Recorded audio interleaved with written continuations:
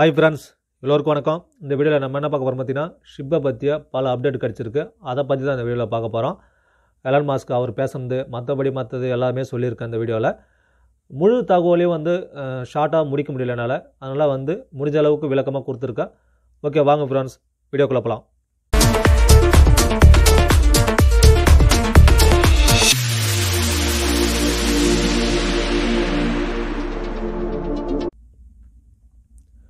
முதல்ல AMA live வந்து credit கூட கனெக்ட் பண்ணுறதா இருந்துச்சு.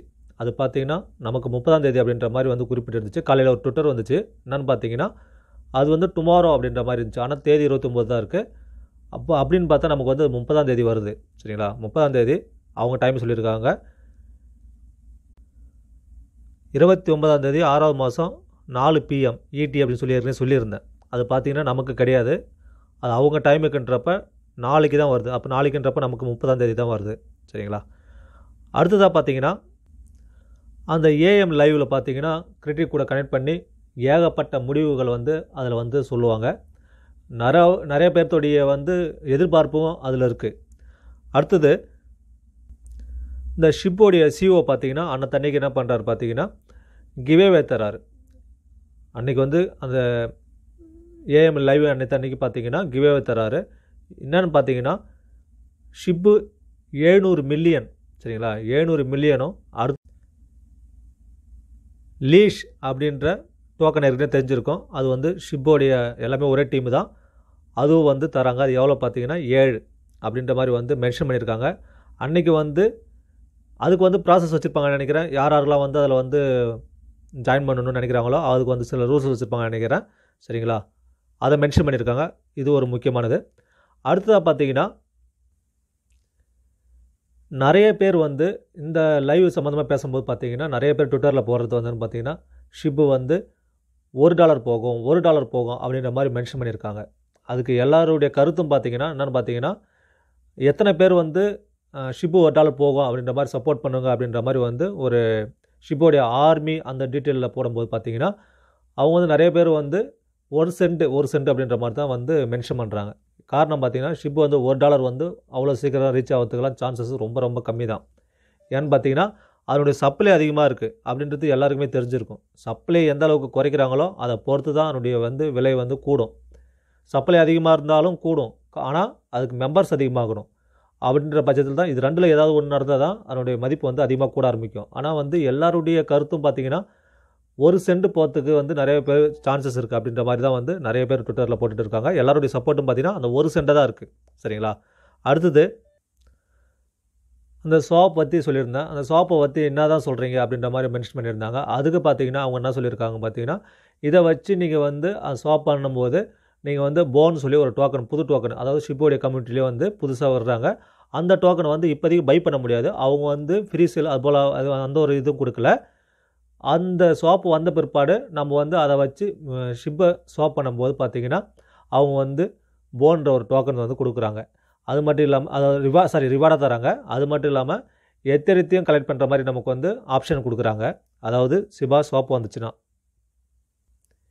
இதெல்லாம் வந்து அவங்க வந்து குறிப்பிட்டிருக்காங்க. எதுக்குன்னு பா எதுலன்னு பார்த்தீங்கன்னா அவங்க ட்விட்டர் பேஜிலே இதுக்கு முன்னாடி அப்டேட்லேயே சொல்லியிருந்தேன் ஷிப்போடைய ஊஃப் பேப்பரை பற்றியும் சொல்லியிருந்தேன். அதுக்கடுத்து பார்த்தீங்கன்னா அவங்களுடைய வெப்சைட் பற்றி சொல்லியிருந்தேன் வெப்சைட் வந்து புதுசாக விட்டுருக்காங்க.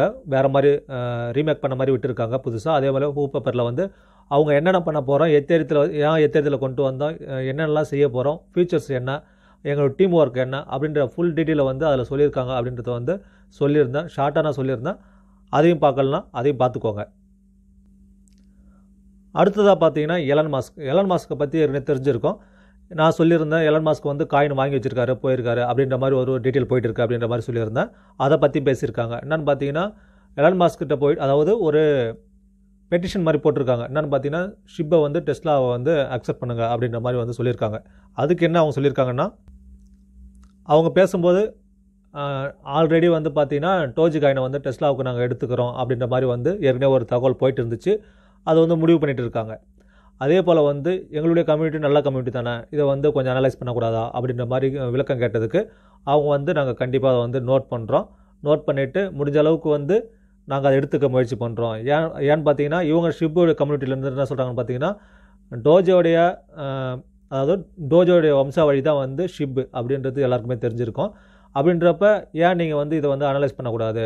அப்போ ஏன் எங்களுக்கு இது சப்போர்ட் பண்ணக்கூடாது அப்படின்ற மாதிரி வந்து சொல்லும்போது அவங்க வந்து ஓகே நாங்கள் வந்து வந்து பார்க்குறோம் அலசி பார்க்குறோம் கண்டிப்பாக வந்து முடிஞ்ச அளவுக்கு நாங்கள் வந்து சப்போர்ட் பண்ணுறோம் அப்படின்ற மாதிரி சொல்லியிருக்காங்க.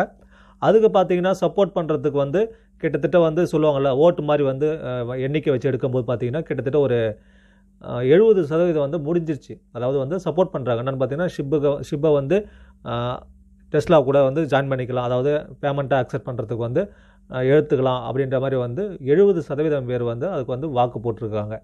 இன்னும் ஒரு முப்பது சதவீதம் வந்து பேர் வந்து அதுக்கு வந்து பாசிட்டிவாக வந்து கருத்து தெரிவித்தாங்கன்னா கண்டிப்பாக வந்து டெஸ்லாவிலையும் அதை வந்து அக்செப்ட் பண்ணிவிடுவாங்க அப்படி அக்செப்ட் பண்ணிட்டாங்கன்னா உங்களுக்கே தெரியும் டெஸ்லா வந்து எவ்வளோ பெரிய நிறுவனம் அப்படின்றது வந்து எல்லாருக்குமே தெரிஞ்சது. அதில் ஒரு வேளை அக்செப்ட் பண்ணிட்டாங்கன்னா ஷிப்போட மதிப்பு பெரிய ம பெரிய லெவலில் போகிறதுக்கு நிறையவே வாய்ப்பு இருக்குது அது மட்டும் இல்லாமல் இது வரைக்கும் வந்து பார்த்தீங்கன்னா ஷிப்பு வந்து ரொம்ப ரொம்ப ஹை போயிருக்கு. மற்ற டோக்கனை மற்ற மீம் டோக்கனை காட்டிலும் எல்லாத்தையும் விட வந்து ஷிப்பு வந்து ரொம்ப ஹை போயிருக்கு. அதனால் வந்து ரொம்ப இதை வந்து இம்பார்ட்டண்ட்டாக வாட்ச் பண்ணி கொஞ்சம் முடிஞ்ச அளவுக்கு வந்து எவ்வளோ சீக்கிரமாக வந்து அக்செப்ட் பண்ண முடியுமோ அப்படின்ற மாதிரி வந்து அவங்க வந்து பெட்டிஷன் போட்டிருக்காங்க. சரிங்களா? பரிந்துரை தான் செஞ்சுருக்காங்க. இன்னும் முடிவாகலை. சரிங்களா?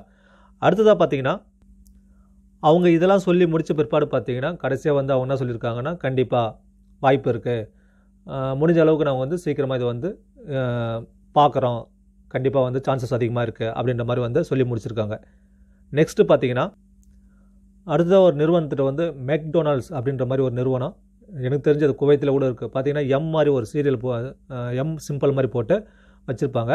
அதில் என்னென்னலாம் கிடைக்கும் அப்படின்னு பார்த்தீங்கன்னா பெரிய பெரிய பொருள்லாம் கிடைக்காது. சின்ன சின்ன பொருள் இந்த பீஸ் ஐட்டம் சின்ன சின்ன பொருள்லாம் வந்து கிடைக்கும். நமக்கு அதாவது அடிப்படையாக வாங்கிக்கிற வாங்கி சாப்பிட்ற உணவு பண்டங்கள்லாம் கிடைக்கும். அதுக்கு வந்து பேமெண்ட்டாக அக்செப்ட் பண்ணக்கூடாதா அப்படின்ற மாதிரி வந்து அவங்க கேட்டிருக்காங்க. சும்மா பேசு பேசும்போது பார்த்தீங்கன்னா அவங்க வந்து அந்த டீம்கிட்ட பேசும்போது அவங்க வந்து அந்த நிறுவனத்தை சார்ந்தவங்கள்ட்ட பேசும்போது அவங்க சொல்லியிருக்காங்க ஓகே நாங்கள் வந்து இதை பார்க்குறோம் அப்படின்ற மாதிரி. இவங்களும் வந்து இதை இந்த மெக்டொனால்ட்ஸ் அப்படின்ற அந்த நிறுவனமும் வந்து இது உள்ளே வந்துச்சுன்னா பெரிய லெவல்லாம் வந்து மாற்றம் வராது. கண்டிப்பாக ஏன்னு பார்த்தீங்கன்னா அது வந்து பெரிய கம்பெனியும் கிடையாது. சரிங்களா? ஒரு சின்ன கம்பெனி தான். சின்ன லெவலில் சின்ன சின்ன பொருள்லாம் வாங்குறது விற்கிறது அப்படின்ற மாதிரி வந்து உணவுப் பொருளும் பீஸா அது மாதிரி ஐட்டங்கள்லாம் வந்து பார்த்திங்கன்னா அந்த இதில் வந்து வாங்கிக்கலாம் அப்படின்ற மாதிரி சின்ன சின்ன பேமெண்ட்லாம் வந்து அதை அக்செப்ட் பண்ணுறாங்க அப்படி அக்செப்ட் பண்ணாங்கன்னா உலக லெவலில் பா பிரித்து பார்க்கும்போது பார்த்திங்கன்னா அது வந்து நிறையா ரீச் ஆகிறதுக்கு நிறைய சான்சஸ் இருக்குது சரி சரிங்களா? அதை வந்து என்ன பண்ணியிருக்காங்கன்னா ஒரு பெரிய அவங்க நாட்டில் அவங்க நாடோ இல்லை வேறு நாடான்னு தெரியல ஒரு நாட்டில் பார்த்தீங்கன்னா அதை அந்த டீமு கம்பெனிகிட்ட முன்னாடி பார்த்தீங்கன்னா என்ட்ராய்டு பேஸில் பார்த்தீங்கன்னா அந்த ஷிபாவுடைய சிம்பிளை வச்சு பார்த்தீங்கன்னா ஒரு பெரிய போர்டு மாதிரி வந்து செட் பண்ணி வச்சுருக்காங்க.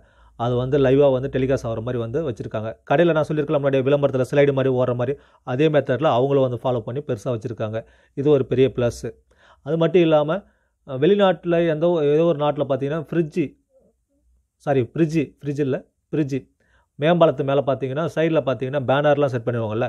நம்ம நாட்டில் நிறைய இடத்துல இருந்திருக்கு அதே போல் வந்து அதே போல் மெத்தடில் வந்தீங்கன்னா அங்கங்கே வந்து ஷிபா ஷிபா இன்னொன்று அப்படின்ற மாதிரி வந்து மென்ஷன் பண்ணி ஆர்மி ஷிபா ஆர்மின் அப்படின்ற மாதிரி கீழே மென்ஷன் பண்ணி அதுக்கடுத்து பார்த்தீங்கன்னா ஷிப்பு டாட் காம் அப்படின்ற மாதிரி வந்து அவங்களோட அவங்களோட வெப்சைட்டை வந்து கீழே வந்து மென்ஷன் பண்ணியிருக்காங்க பை பண்ணுற மாதிரி அப்படின்ற மாதிரி. சரிங்களா?